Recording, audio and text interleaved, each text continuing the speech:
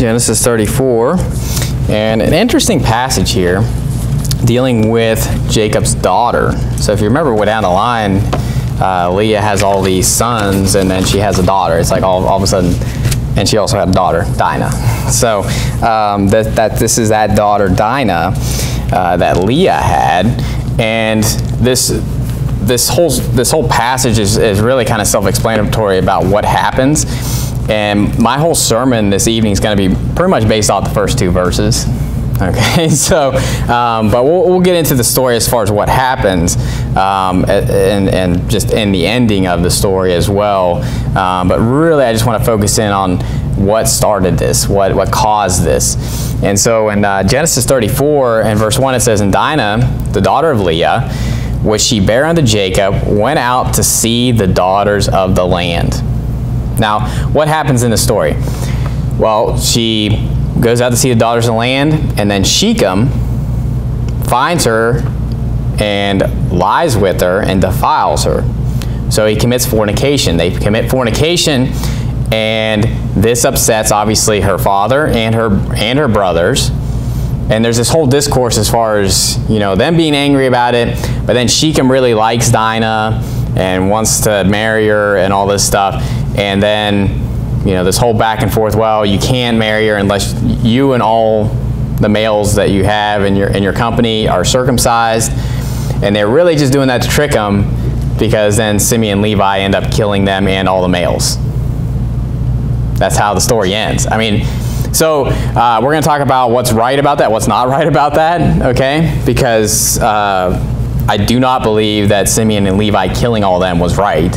Uh, that's not justified in the Bible, and we're going to talk about that. But what led into this? How this start? And a lot of times when you look at these stories, really the beginning, it, you can see the keys to what starts this. If you think about Genesis 6, what started the downfall of man to where God repented that he made man on the earth? The sons of God came down to the daughters of men, and you know they, they married the daughters of men. And so you saw saved guys, saved men, marrying unsaved women, and that was the downfall to where God flooded the whole earth. Now, obviously, if you're if you're uh, reading NIV, or if you're if you're listening to somebody that that goes back to the Hebrew, or someone that doesn't care about what the Bible actually says, they'll say that's angels procreating with women, and there was these valiant like half hybrid, you know, angel men people, and these giants that came out of them, and then God had to destroy the earth so He could destroy all the giants. Okay, obviously that's really weird and stupid. okay, but when you see this with Dinah, it's kind of something similar, only it's more so uh, her making a, a, mistake here. What we see, what, what starts this off? She went out to see the daughters of the land. Now, I'm going to definitely spiritualize this, okay? Because we see the story, she went out there and she ended up getting defiled. Okay? I do not believe this is a rape story. Okay? So I do not believe that Shechem raped her. If Shechem did rape her, then yeah, he'd be worthy of death. Not the whole land. okay, he would have been worthy of death. But it doesn't say that he raped her or forced her or anything like that. It just says that he took her and lied with her and defiled her. Now, defile just means the fact that she's defiled because she was a virgin and they weren't married. Okay, we're going to get into that later on. So really the sermon here is going to be more so about how we need to be separate from the world and we also need to flee fornication. But this story is more so dealing with women. Okay, a lot of times I'll deal with this and trust me, I'll get to it when we get to Joseph and the story of Joseph and all that stuff. And men, uh, you know, this is something we need to watch out for. And, and this sermon's for men and women. But more so the ladies tonight when you look at the fact of Dinah and what happened to her. And what was the downfall or what, what could have been prevented so that Dinah wouldn't have been defiled? Well, if she wouldn't have went out to see the daughters of the land. Okay? And so we can look at that as far as not going out and see the daughters of the world or the daughter, you know, worldly daughters, okay? And so and this doesn't just mean unsaved people. Because saved women can be just as bad as unsaved women when it comes to being worldly. And so uh, yes, I think that you should definitely keep your friends as far as in, in the believer realm. But even inside that, you need to keep a close guard as far as who you hang out with and, and, and, and stuff like that. And that goes for men too. I don't hang out with a whole bunch of worldly Christians. If I did, they'd be dragging me down. I guarantee it. But go to 2 Corinthians chapter 6, 2 Corinthians chapter 6, and I know we've gone through this very a uh, lot, but it's something that we need to ingrain into our minds that we need to be not unequally yoked with who we're fellowshipping with. This doesn't just cover marriage, although this is very, very good to cover marriage, because here's the thing. When, when she went out to see the daughters of the land, she didn't go out to see the men of the land. Okay? And I think about this when I think of like, uh, you know, the younger girls going out to the mall and hanging out with a bunch of girlfriends and, and, and, and talking about boys. Okay, now listen, I'm a guy, so I didn't do that. Okay, I, I found my guy friends, we talk about girls. okay, but, uh, but all that to say is that this is something to watch out for. Now, I do think that as your children get older, you should give them a little more liberty. But I do believe there's a difference between men and women. And I will, if I have, Lord willing, I have sons, you know, along with my daughters, I will give more freedom to my sons when they're in their teenage years than I would my daughters. You say, why? Well, first of all, they're not as strong as men. And I, you know, the, the boys can handle themselves and they're not going to be, you know, taken out by a woman. And if they are, then they need to get some strength. Okay? you know, they deserve to get slapped around or something like that if a woman takes them out. But all I'm saying is that there is a difference between the physical strength of men and women. So am I going to send my daughter out by herself without any, you know, protection or, somebody around her that I know is going to take care of her and all that stuff? Well, of course not. Now, guys, if they get around 16, 17, 18 years old, yeah, they need to learn how to fend for themselves because they got to protect their family. They better learn how to protect themselves first. And so we need to take heed to our daughters. Women are the weaker vessel, the Bible says. Give honor unto the wife as unto the weaker vessel. And we need to remember this, that, that women aren't as strong as men. And even in the spiritual realm, men are supposed to be the spiritual leaders. And we need to, we need to really take guard. Remember this, Adam was not deceived, but the woman being, being deceived was in the transgression. That's at the very beginning, before the fall of man. Eve was deceived Adam wasn't deceived. Now, they both sinned, and obviously by Adam's sin, you know, we all sin and we all have sin nature and all that. But there is a difference in the mentality as far as uh, women being enticed uh, compared to men. Okay? And this may not be a popular sermon. I guarantee this won't be a popular sermon in the world. I'll be called misogynistic and, you know, all the other weird words that they're going to come up with, right? But I don't hate women. I love women and I want to protect my daughters and I want to warn women too to, to be careful in these aspects, okay? And so, uh, just listen up tonight. And in 2 Corinthians chapter 6 and verse 14, it says, Be ye not unequal yoked together with unbelievers, for what fellowship hath righteousness with unrighteousness, and what communion hath light with darkness, and what concord hath Christ with Belial, and what part hath he that believeth with an infidel? And what agreement hath the temple of God with idols? For ye are the temple of the living God. As God hath said, I will dwell in them and walk in them, and I will be their God, and they shall be my people. Wherefore, notice this, come out from among them, and be ye separate, saith the Lord, and touch not the unclean thing, and I will receive you. And I will be a father unto you, and ye shall be my sons and daughters, saith the Lord Almighty. Now, this passage is about coming out and being separate. That's something that our church stands on, meaning that we're against worldliness. We're against worldliness and we're for living a separated, holy, sanctified life. Meaning uh, separate from the world. Now, people take this too far. We're not, we're not going to go buy a convent somewhere and go cut ourselves off from the world. Okay? Because how then are we going to go out into all the world and preach the gospel to every creature? So don't confuse this with being completely out of the world. Because Jesus even said, I don't want to take them out of the world, I just want you to keep them from the evil. So we need to be in the world. We need to talk to people in the world. We need to converse with people in the world. But that doesn't mean we need to be friends with the world. We don't need to be connected with the world. Okay? And so don't get that, don't go too far with that where you're just like, I'm separate from the world, everybody else can go to hell, and I'm just going to go you know, we're going to go find a convent out in Texas and drink the Kool-Aid. No, okay, that is not what the Bible teaches. And but the Bible does teach that we're supposed to be separate from the world and we're supposed to come out from among them. What's that mean? Get away from their TV programs. Get away from all the stuff they're trying to shove down your throat as far as their philosophies, as far as, the, let's say, you know, drugs, alcohol, parties, all the stuff that they're trying to drag you into their world with. We want to be have nothing to do with it. I'm not going to a bar to preach the gospel. I'm not gonna I'm not gonna go into that atmosphere. Now I'll go up to someone's house and I'll knock their door and I'll give them the gospel.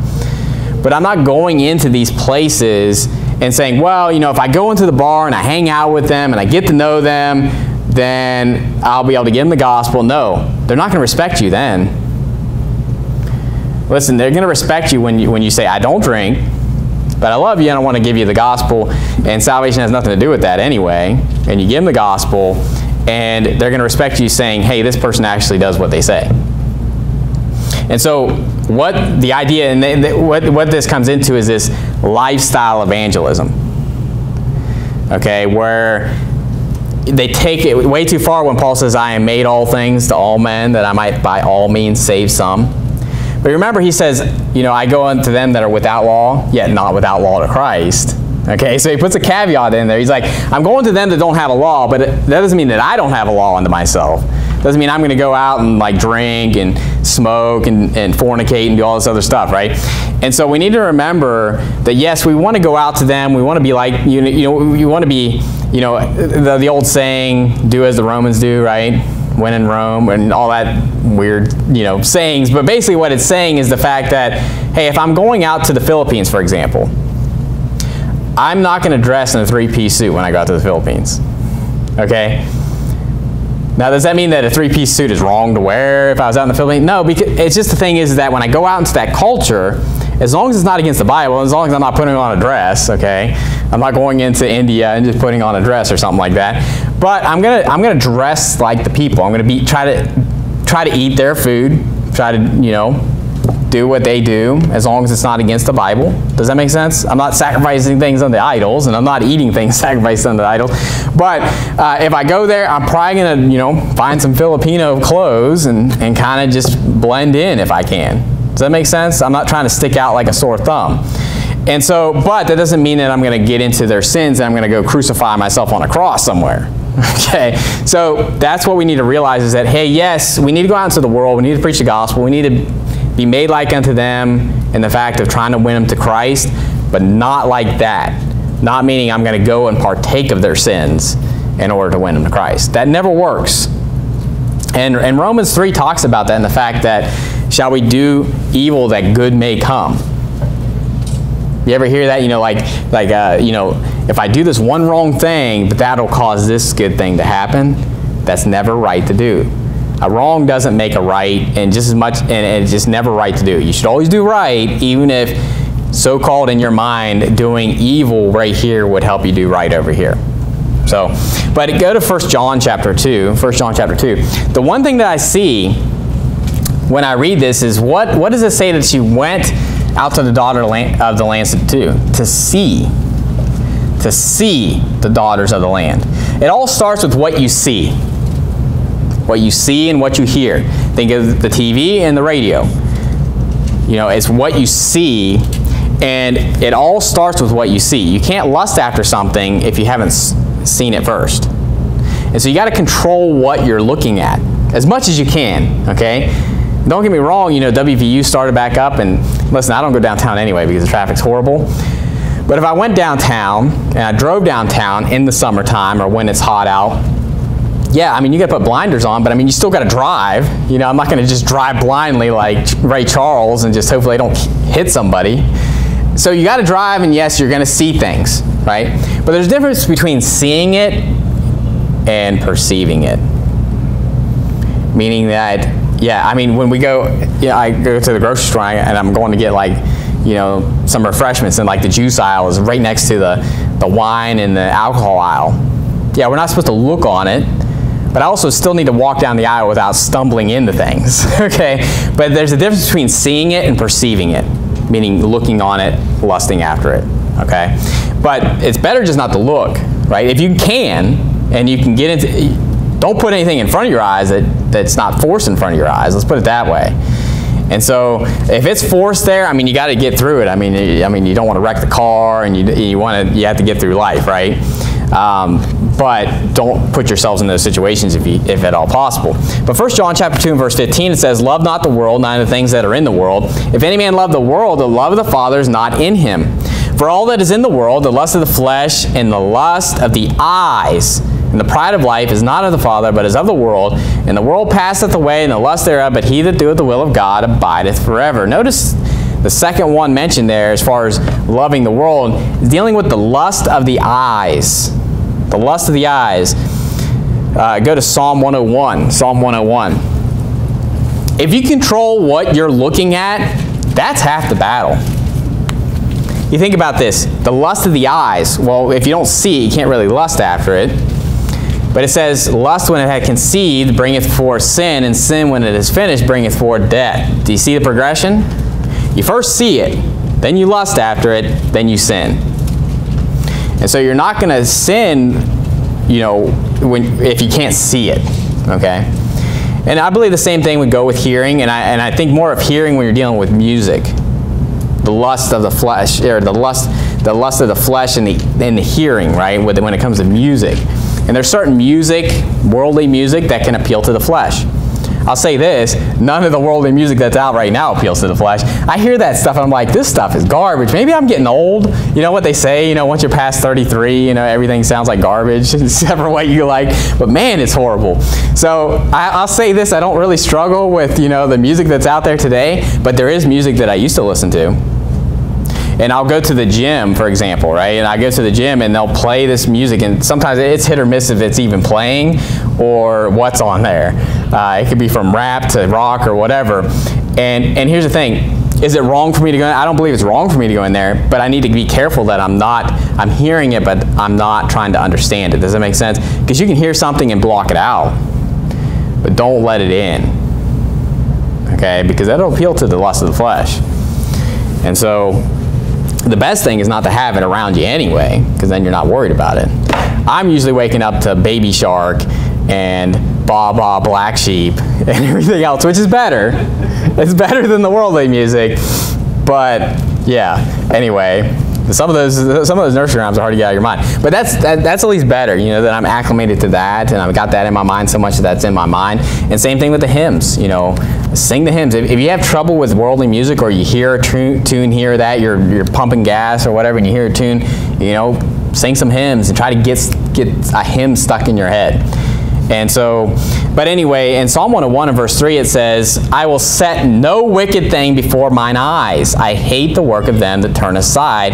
It shall not cleave to me. So I will not set, or it says, I will set no wicked thing before mine eyes. And so that's what we need to keep thinking is the lust of the eyes. And you say, well, how do I control that? Well, get rid of the cable, okay? And here's the thing, the TV's not inherently wrong, right? That screen the stuff pops up on, that's not evil. It's what's being put on there, okay? Because if I put on, you know, like a documentary, like, you know, one of our, you know, documentaries that we like, like New World Order Bible versions or After Tribulation, that's not wrong. And if I were to put up, like, let's say I was just to put up a documentary on the Titanic, is that wrong? No, that's not wrong. But I'll say this, anything that's on cable TV right now is garbage. And if it isn't garbage, let's say it's a good documentary, now you got to listen to like three minutes of commercials between every 15 minutes of the program, and that's all garbage. Every commercial, if it's not wicked, it's annoying. okay, it's just this this this. I don't know how to really explain it, but have you ever been over at someone's house and they just got the TV blaring? And it's just, I think, second nature to them just to have it on. And I just feel uneasy. I feel anxious, you know, because at my home it's like silence. You know, it's either silence or little baby bum playing nursery rhymes, right?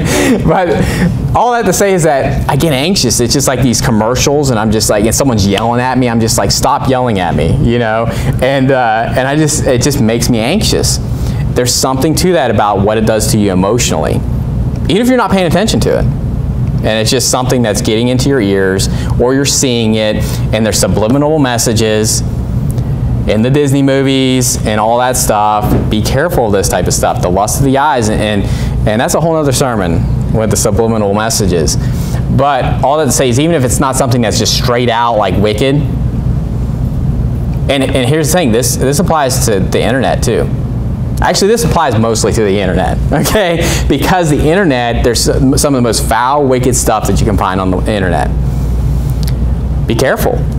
I'll go to a site and you'll, you'll see an article and it's like an article that you want to read or you're like interested in what's going on. And then over here on the side is just a bunch of scantily clad women that are half naked and it's just like, what in the world? I just want to read this article, but then you get all this pop-up garbage that's being just shoved into your face constantly. You got to be careful.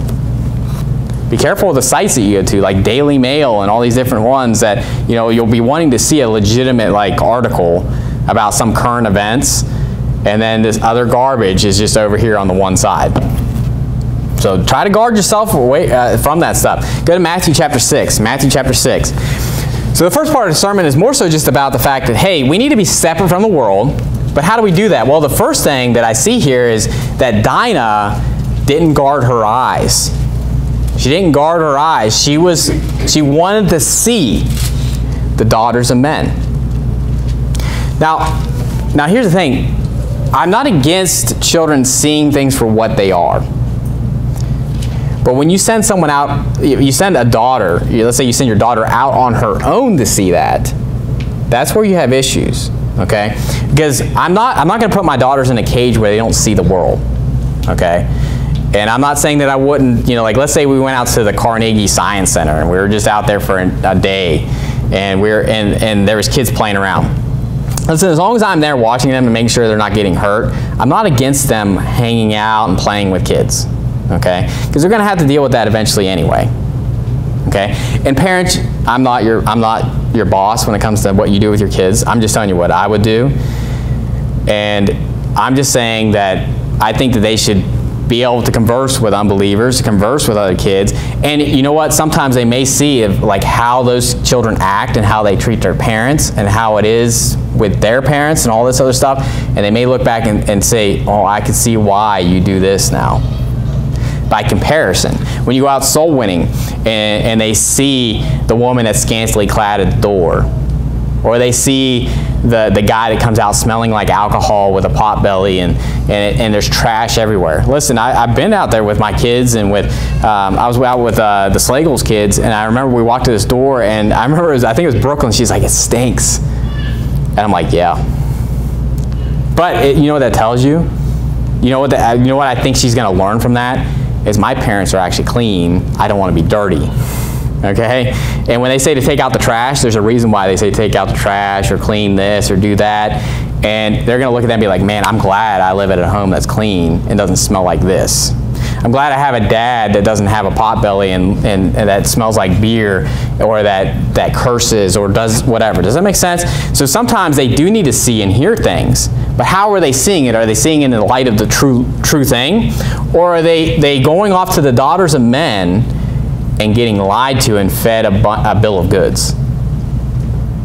Listen, the same thing happened to Rehoboam when he sought counsel of his, his friends and forsook the counsel of the old men. You know, the, the, the, especially teenagers, okay? I used to be one, okay? The, the hormones are raging. I mean, you're not thinking straight, okay? And, and I'm not downing teenagers because teenagers are very smart. Okay, teenage, uh, you know, uh, young people are very intelligent. But when it comes to rationalizing like what they should do with life or what they need to be focusing on, sometimes that's hard. Listen, I grew up I grew up in elementary school, middle school, high school. You know what I thought about? Girls. That's what I thought about. I'm just going to be honest with you. That's what I thought about. Did I think about my career? Did I think about my schooling? Listen, I did my schooling and I hung out with friends, but literally girls were the only thing that was on my mind most of the time. And, you know, that's the type of thing that's going on. And ladies, I'm sure the ladies isn't, I'm sure you're never thinking about boys, right? You're never thinking about that. If, if, if, the guys are thinking about that, the girls are definitely thinking about that. And when you get girls together, you get guys together, it's not a good combination when it comes to that group and the, and the age. Okay? But in Matthew chapter 6 and verse 22, notice what it says. Matthew chapter 6, verse 22, it says, The light of the body is the eye. If therefore thine eye be single, thy whole body shall be full of light. But if thine eye be evil, thy whole body shall be full of darkness. If therefore the light that is in thee be darkness, how great is that darkness? And notice the exclamation mark at the end of that. And when you see that in the King James Bible, know that it's, it's important. Okay, there's not that many exclamation marks at the end of verses in the Bible. And what is this talking about? It's basically saying your eye is, is what your, how your body sees, obviously, and it's the light of your body, meaning that that's how you bring in information. Okay? And so it's saying if your light, if your eye be single, it's comparing that to being evil. Okay? And so single meaning, if you think about this, putting frontlets between your eyes, that you don't look to the right hand or to the left, it means that you're focused. Your eye is single, meaning you're doing what you need to be doing, you're focused on your task, and you're kind of putting blinders on. But if your eye is evil or it wanders, that's where you're going to have trouble and, and that's where the darkness is going to come in. Remember, it's not, it's not about what you eat. It's about what you bring into the heart and what comes out of the heart. And so we're talking about spiritual matters here. Go to Lamentations chapter 3. Lamentations chapter 3. Lamentations chapter 3. Lamentations chapter 3 and verse 51.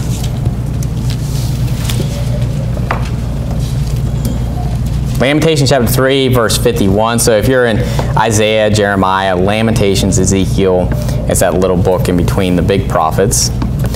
And it says in verse 51, Mine eye affecteth mine heart because of all the daughters of my city. And if you know that, obviously, what, is lament, what does it mean to lament something? This is the Lamentations of Jeremiah, where he's looking at the city that's been completely decimated, and he's crying over it.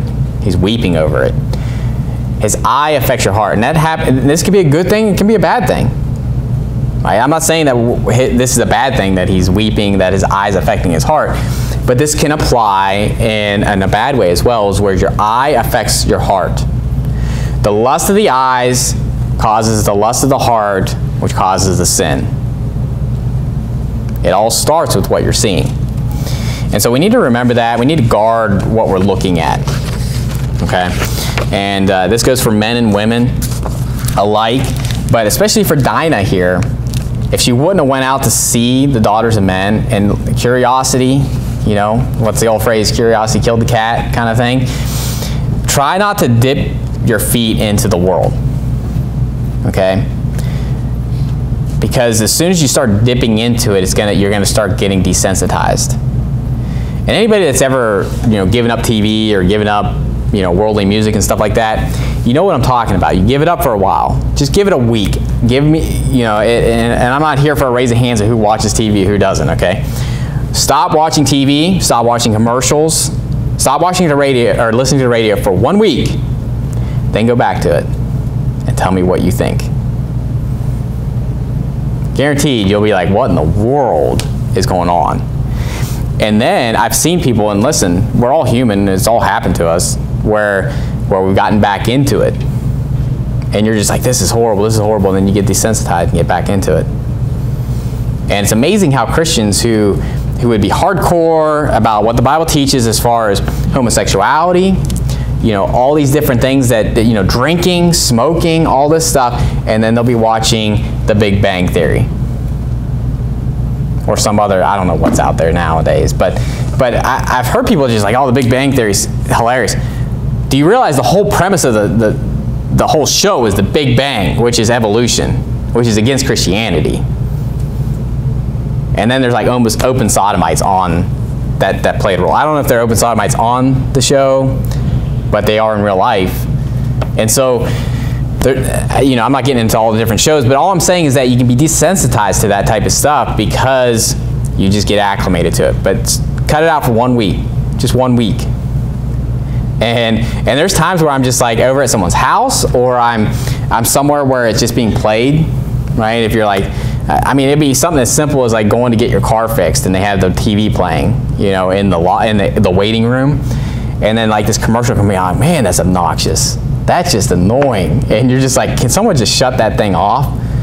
and and you know you don't want to be that guy that's like you know you know trying to control everything in some public area you know what i mean? But at the same time you're just like this is this is really just out of your comfort. And that's the way it should be. So but in uh, in 2 timothy go to 2 timothy chapter 2 2 timothy chapter 2 and like i said we, we need to stay away from we need to go out and win the world but don't be friends with the world you know, the friendship of the world is enmity with God. Whosoever therefore will be the friend of the world is the enemy of God. We need to remember that, not to be a friend of the world, but to have the love of the Father in us. So we need to love the world, right? For God's to love the world that he gave his only begotten Son, that whosoever believeth in him should not perish but have everlasting life. We need to love the world, give them the gospel, but we don't need to be of the world. And so uh, in 2 Timothy chapter 2, and verse 19 here. It says, Nevertheless, the, the foundation of God standeth sure, having this seal of the Lord knoweth them that are his, and let every one that nameth the name of Christ depart from iniquity. But in, in a great house there are not only vessels of gold and of silver, but also of wood and of earth, and some to honor and some to dishonor. If a man therefore purge himself from these, he shall be a vessel unto honor, sanctified and meet for the master's use, and prepared unto every good work. Flee also youthful lusts, but follow righteousness, faith, charity, peace with them that call on the Lord out of a pure heart. So, right here we see that I, you know, I, I, believe this is likening this unto the church. That in a church, let's say in a church, in the house of God, there's vessels unto honor and dishonor. Now, this isn't talking about unsaved and saved. This is just talking about worldly Christians and, and, and godly Christians. Okay, and I'm not saying that you know these these ones that are under dishonor are need to be kicked out of the church necessarily. But when it comes to this, you know, even in a great house, and if you think of Christianity in the whole, obviously you can definitely see that there's vessels unto honor and vessels unto dishonor. But even inside the church, sometimes you have to deal with this, or you have this happen. And so we need to be careful, even even among brethren and listen, obviously there's church discipline, which we'll see here in a second. Church discipline as far as like, there are certain sins that someone can commit to where they need to be kicked out of the church until they get it right. Why? Because we're not the fellowship with brethren that are in some deep, really bad sin. Okay? And, and we need to think about this with, with who we hang out outside of the church. Because I'm not saying you got to hang out. If they're not from Mountain Baptist, you can't hang out with them, right? Now, obviously, that's not true. I hang out with people that don't come here. And so, I, you know, it's not like you're locked in, like you got to have friends that's only friends of Mountain Baptist. But they should be like-minded. They should be, you know, people that love the Lord and trying to do right and that they're on the right path. Or they're going on the right path. Does that make sense? I'd rather have somebody that just gets saved they're not dressed like us. They're not doing what we should be doing. You know, they may still be smoking. They may still have a lot of problems, right? A lot of things that, that they should clean up and all that stuff. But I'd rather have that person that's just like, hey, I'm wanting to get it. I'm wanting to get these things right. I'm, I'm moving in the right direction. I'd rather be hanging out with that guy that's completely over here on like the worldly side, but they're like, hey, I want to go this way. I want to go towards God. Then the person over here that is pristine, They've been going to church all their life, but but they, they're knocking on soul winning. They're, they're constantly knocking at what's being preached, and they're going the other direction. I don't want to hang out with that guy, even though he's, he's technically more spiritual in the fact of where he's at in his Christian life. Does that make sense? So it's not a matter of like, well, who's worldly or not, it's which direction are they going. That's who I want to hang out with. Because the person that's going in the right direction, hey, I can try to lead them on the way and I can, you know, help them out where they, they're having, they're, they're stumbling or whatever. But the other guy, if I'm with him, he's, he's going that way and what he's going to do is drag me back. And so uh, don't get the, the holier now attitude either where you're just like, hey, they're not where we're at. I'm not hanging out with them. No, I can hang out with someone that just got saved that's completely worldly but they're on the right track. They're trying to do right. They're wanting to do right. But in 1 Corinthians chapter 5, 1 Corinthians chapter 5 is the, the, the, church discipline when it comes to people that are in grievous sins. And so there's a list here of sins that where someone would be kicked out of a church for. Okay. 1 Corinthians chapter 5, verse 9, it says, I wrote unto you in, in an epistle not to company with fornicators, Yet not altogether with the fornicators of this world, or with the covetous, or extortioners, or with idolaters, for then must ye needs go out of the world. But now I have written unto you, not the company, if any man that is called a brother be a fornicator, or covetous, or an idolater, or a railer, or a drunkard, or an extortioner, with such an one know not to eat. For what, what have I to do to judge them also that are without? Do not ye judge them that are within? But them that are without, God judgeth. Therefore, put away from among yourselves that wicked person. Now we know the story that this man that they're talking about is the man that, that committed fornication with his father's wife. It's obviously a very grievous sin, right, that's going on. They didn't kick him out. And he's stating here, he's saying, listen, I'm not saying that you can't talk to somebody that's a fornicator that's out in the world that's not saved, because you need to give them the gospel. But you should not be hanging around and chumming around with someone that's a brother that's in fornication or that's covetous, idolater, uh, uh, uh, an idolater, a railer, drunkard, extortioner. You know, we're not supposed to be eating and fellowshipping with them. Okay? So if I find out, for example, you know, and I don't think anybody here, here is guilty of any of this stuff, obviously, yeah, I would already talk to somebody about it. But if I found out someone was a fornicator, they were living with their their, their girlfriend or boyfriend or something like that, or if, uh, if they were a railer, meaning that they're, they're making these railing accusations against people in the church, they're trying to cause discord, stuff like that, then I'm going to have to deal with that. And you know what I, you know what I would do? I wouldn't just automatically just kick them out. I just go up to them and say, hey, you know, I, you know, I just want to see, hey, are you, you know, let's use the big example that's the elephant in the room in this passage is fornication, which we were dealing with Dinah and all that stuff. If I went up to a, a couple and I, and let's say they just started coming, right, they just got saved, all this stuff, right, they don't know. And I just go up to them and say, hey, you know, I just want to talk to you, you know, I, I heard you guys are living together.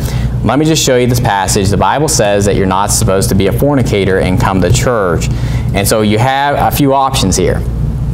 Either stop living together, okay, stop fornicating. And here's the thing, I'm not to be a police officer. I'm not going to be like over at their house figuring out and bugging their phones and all this stuff, okay? But if they're living in the same house, they're living in the same place, okay, I'm going to assume it. I'm going to assume that they're committing fornication because I, I just don't believe that that's not happening. But anyway, they either can move out from each other or they can get married or they have to leave the church. Those are your three options. Now, each pastor has to give a, a, a, bit of grace as far as how long they'd wait. Some pastors are like, you got a week. Some would say you have a month or whatever. Uh, you know, when it talks about in uh, Revelation with Jezebel, who is committing fornication and adultery with people in the church and causing others to do so, Jesus said, I gave her space to repent, and she didn't. So you know what that tells me is that he gave her time. He didn't just bring down the hammer as soon as it happened.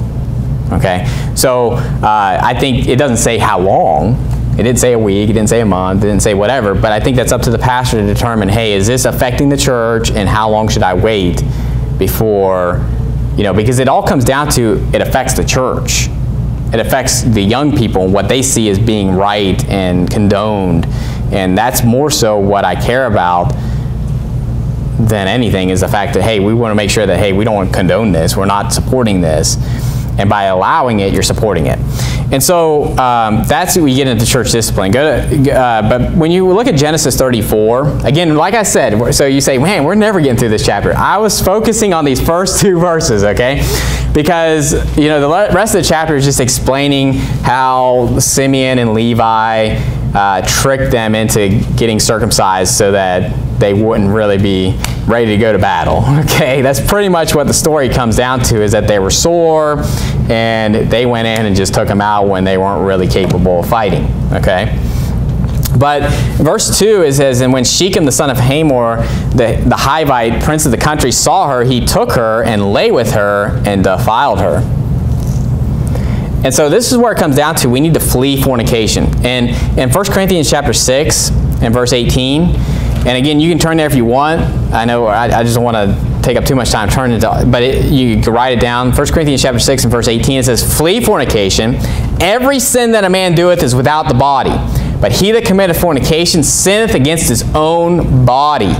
What? Know ye not that your body is the temple of the Holy Ghost, which is in you, which ye have of God, and ye are not your own? For ye are bought with a price. Therefore glorify God in your body and in your spirit, which are God's. This is where it comes out. Come out from among them and be ye separate, said the Lord, and I will be, you know, you, you shall be my sons and daughters. Remember we talked about the difference between the old man and new man? Well, if you want your old man to be a, a child of God, so to speak, you got to put on the new man. And so, but the body, you want to, you want to, you want to be able to uh, glorify God in the body as well. And how do you do that? By being sanctified and holy and not committing fornication, not being defiled. And so when it says that she was defiled, that's all that means is that she was a virgin and she was defiled by this guy because they were not married. And in 1 Thessalonians chapter 4, it says in verse 3, For this is the will of God, even your sanctification, that ye should abstain from fornication, that every one of you should know how to possess his vessel in sanctification and honor, not in the lust of concupiscence, even as the Gentiles which know not God. So what is this talking about? The will of God is that you abstain from fornication. And what's fornication? Fornication is the act that men and women do before you're married. Simple, okay? And I'm not to get graphic or anything like that. That's just, you know, Adam knew his wife, and she conceived and bare a son, right? And that's what men and women do when they're married. But when you do that before you're married, it's a sin.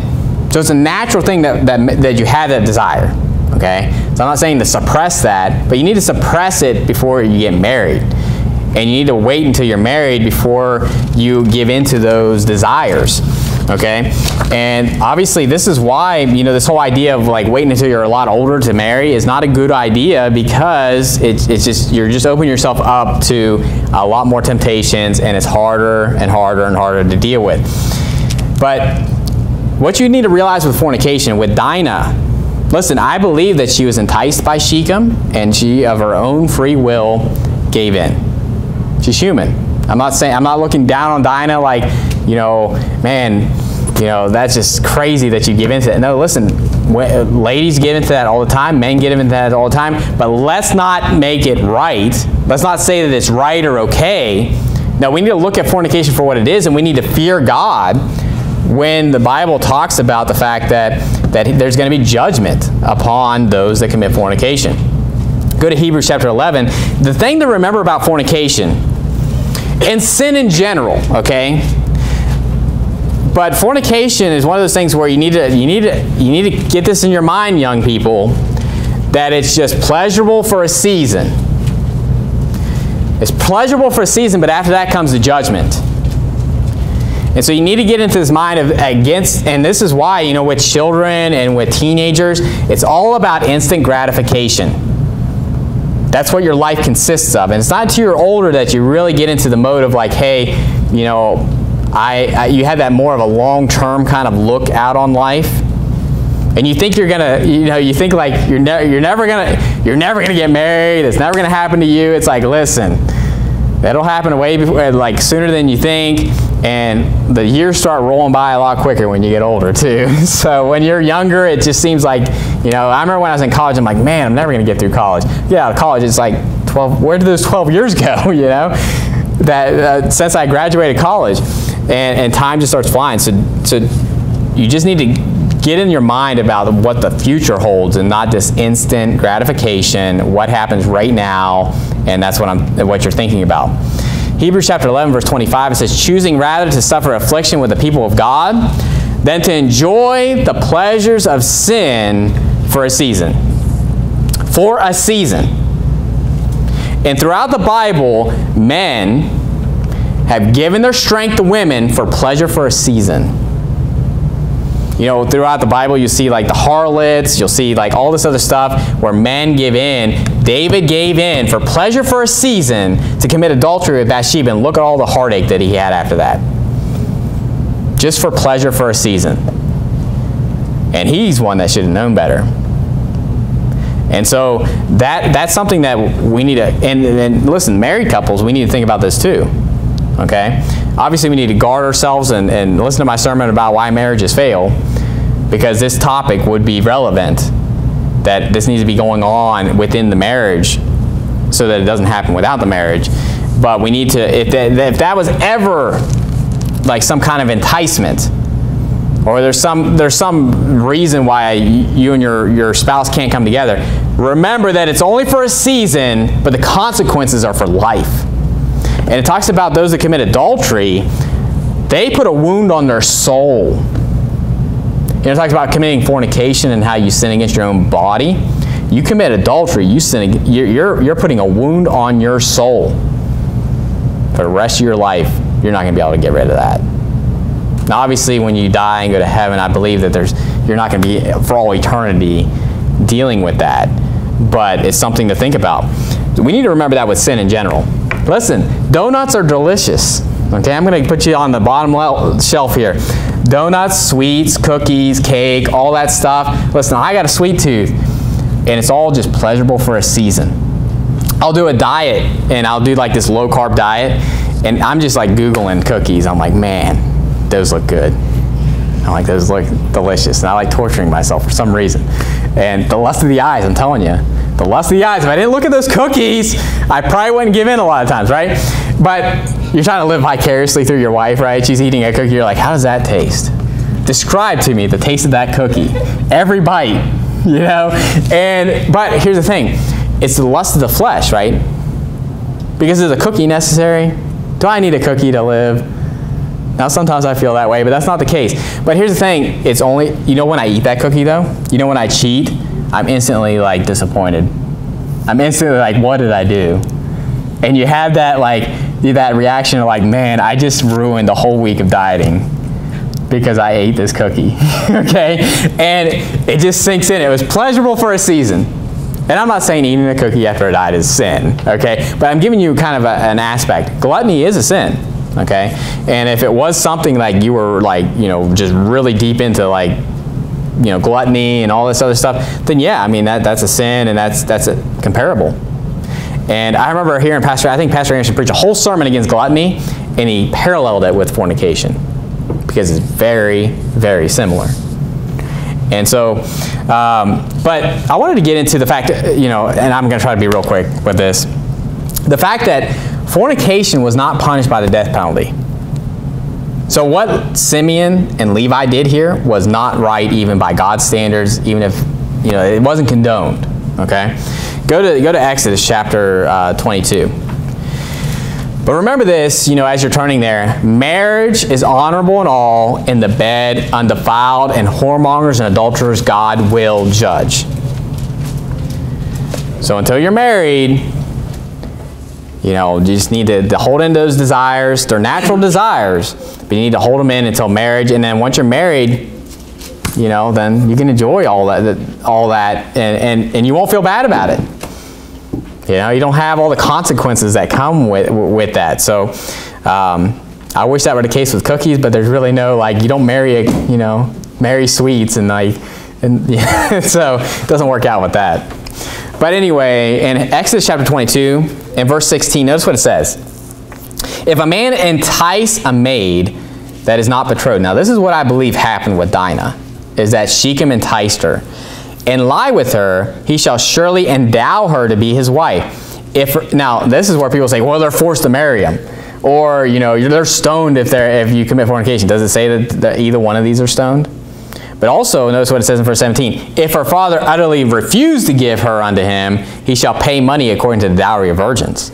So, the, so her father can say, no. you know, let's say it's a derelict, and he's just like, no, you're not marrying my daughter. I don't care that you did defile her. You're not doing it. And so it's not, it's not forcing the marriage because obviously he has veto power. And, I, and, and, but, but in their law, basically, if you commit fornication, you're basically saying, I'm going to, and now we're going to get married. And so that was the law. But rape was punishable by death. But in Deuteronomy chapter 22, Deuteronomy chapter 22, I just want to give you a little bit of the law here. Now, adultery was punishable by death. Both the adulterer and adulteress were to be put to death. And anybody that was to be put to death had to be, it had to be the eyewitness of two or, or you know, it had to be two or three eyewitnesses.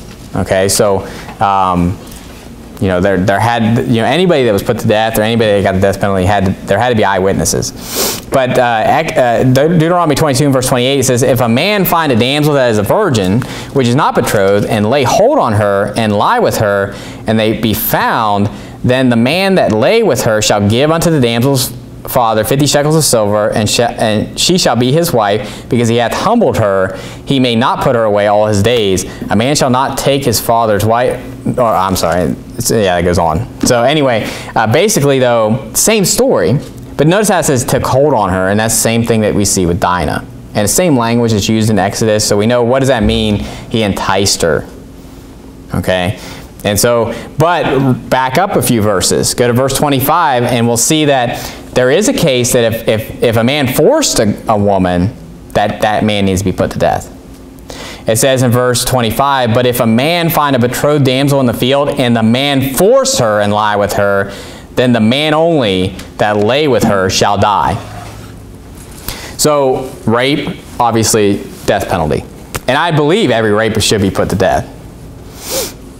I mean, here's the thing: if, if a woman gets raped, you know, you think about this whole thing with uh, abortion, and, and you know, like, what if a what if a woman got raped? Kill the rapist, not the baby. Kill the rapist. You know, it, I think that would, first of all, do a lot of help to the woman that got raped. Because a lot of times these women that get raped, the men just get off scot-free. They don't get any punishment. Listen, you know, if, if my daughter got raped by, by a man, execute him and let her spit on his grave until, until the day she dies. That'll be more cure for, for what was done to her than anything else. And, and listen, anybody rapes my daughter, they won't have to worry about whether it's legal or not as far as the death penalty is concerned. And, and, and here's the thing, that, you know, the mother baby room, we had the mother baby room, we don't have a nursery. I don't think it, it'll ever be a case where I'd ever like find a man that would ever, you know, force themselves on a woman or if there was a pedophile or something like that trying to do something, if I ever caught anybody in the act, they will die. No questions asked. Because that, and it's legal by the way, if you were to catch like a pedophile, like hurting a child.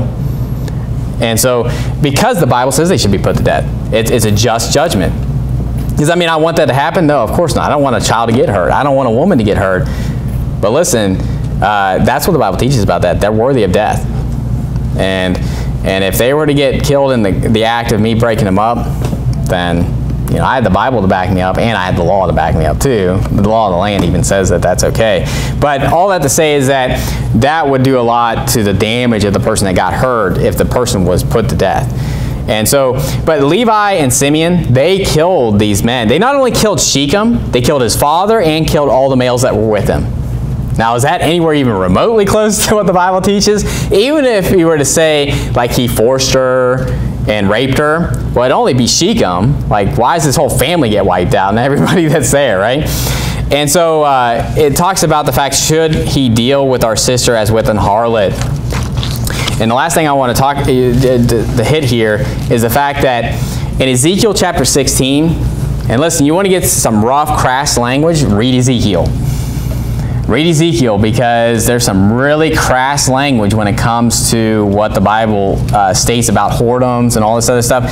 But the Bible says in Ezekiel 16 verse 33, it says, They give gifts to all whores, but thou givest thy gifts to all thy lovers, and hirest them that they may come unto thee on every side for thy whoredom. You know, if people get upset about that word whore, if I were to call someone a whore or a whoremonger, a whoremonger is like the, the, the male version of that. And listen, it's not just the women, because the men are, are just as sinful and wicked for doing it. But the Bible, what is it saying here? They give gifts to all whores, meaning like a harlot, at least they get paid. Now this is, he's, he's likening this unto Israel and Judah, right? And, and the fact that hey they basically whored themselves they went a whoring after other gods and they didn't even get anything out of it. They were paying them.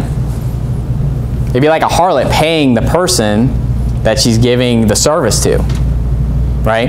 And that's what it's saying is basically if you commit fornication it's almost like the, the bible is pretty much saying you're worse than a whore because at least the whores get paid Something to think about. And here's the thing. If a guy is not worth, uh, willing to put a ring on your finger, then he doesn't care about you enough to commit that act. And so, uh, and you say, you say, well, I've already done that or whatever. Listen, I'm not against you. I'm not against anybody that's already committed that or already done that. I'm preaching to, the, first of all, I'm preaching to the people that haven't done it.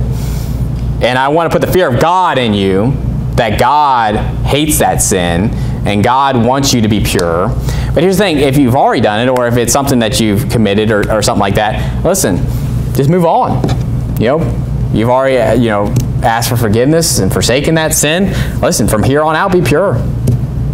Don't just don't be like don't be like me when I eat a donut and be like, well, I've already messed up my diet. Time to order Papa John's and and make some cinnamon rolls and just go into a sugar coma and almost die.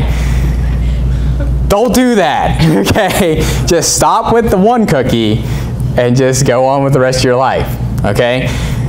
But to end with this, the Bible says this in Proverbs 13, verse 15. It says, Good understanding giveth favor, but the way of transgressors is hard. Have you ever run into somebody that just, you can just see on their face that they've gone through a lot?